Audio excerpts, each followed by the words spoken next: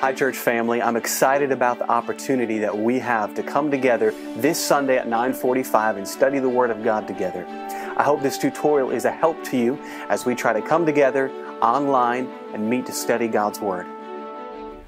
On your mobile device, go ahead and click into the App Store and search for Zoom, Z O O M, and that'll bring up Zoom Cloud Meetings. Go ahead and download that app. Once you have downloaded the app, then you'll open the app, and the first thing you're going to want to do is click Sign Up. And here you'll enter in your best email address, and then your first name and last name. Click I agree to the terms of service. And then you're going to want to check your email. Now, for me, I had to re enter this information and then get them to resend the email. And um, once you do that, then you can You'll get a link in your email, click Activate Account. It will bring you to a web page. Enter your first and last name and choose a strong password or pick your own.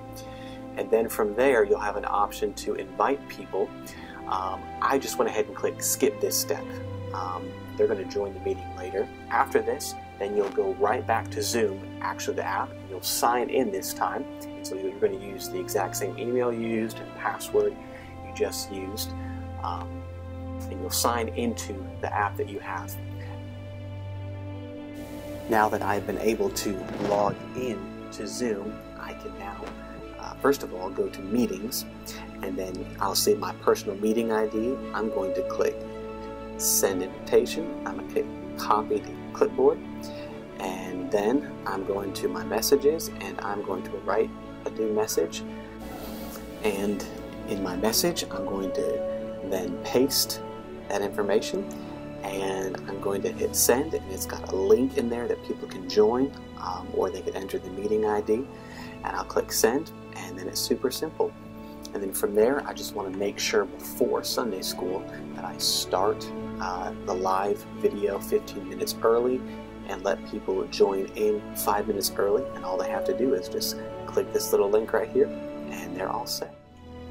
I hope this tutorial has been a help to you. If you have any questions about how to use this and how to meet with us Sunday at 945, please feel free to reach out to myself or the church office and we'd be happy to help you.